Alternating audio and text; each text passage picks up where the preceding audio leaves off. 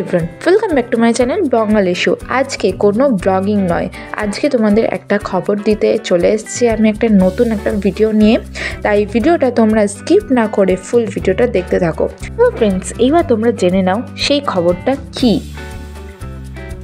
রাম মন্দিরের পর এইবার অযোধ্যায় তৈরি হতে চলেছে সব থেকে বড় মসজিদ, আর তার সৌন্দর্য তাজমহলকেও টেক্কা দেবে।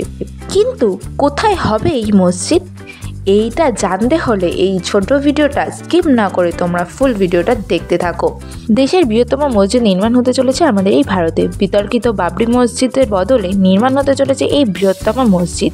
অযোধ্যায় যেমন তৈরি হয়েছে রাম মন্দির তেমনই তৈরি হতে চলেছে বৃহত্তম মসজিদ।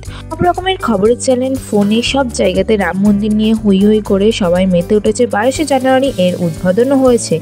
কিন্তু তোমরা কি জানো, এই মসজিদ নিয়ে আলোচনা খুব তর্কে উঠেছে। আর দেশের এই মসজিদ নির্মাণ হতে চলেছে। অযোধ্যা থেকে মাত্র পঁচিশ কিলোমিটার দূরে থন্নিপুরে আর এই মসজিদের নাম হবে মসজিদ মোহাম্মদ বিন আবদুল্লাহ। তোমরা কি একবারও ভেবে দেখেছ যে মসজিদ তাজমহলের সৌন্দর্যকে হার মানাবে?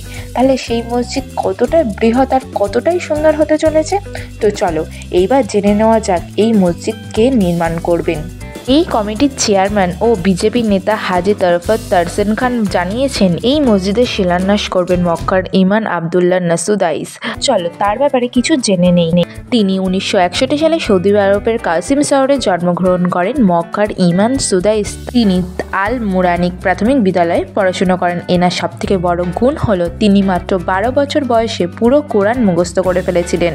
উনিশশো তিরাশি সালে শরিয়ার ডিগ্রি অর্জন করেছিলেন। তিনি হলেন আল হারান মসজিদের প্রধান ইমাম এবং খাতিব। উনিশশো পঁচানব্বই সালে আল কুবা বিশ্ববিদ্যালয় থেকে ইসলামী নিয়ে পিএইচডি কমপ্লিট করেন।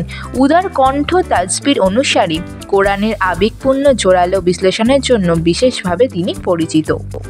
আজকের ভিডিওটা আমি এখানেই শেষ করছি। তোমাদের যদি ভিডিওটা ভালো লাগে, তাহলে লাইক কমেন্ট শেয়ার করতে একদমই ভুলবে না। সাবস্ক্রাইব করে পাশে থাকা বেলাইকনটা অল করে দেবেন। তো আজকের ভিডিওটা এই পর্যন্ত। বাই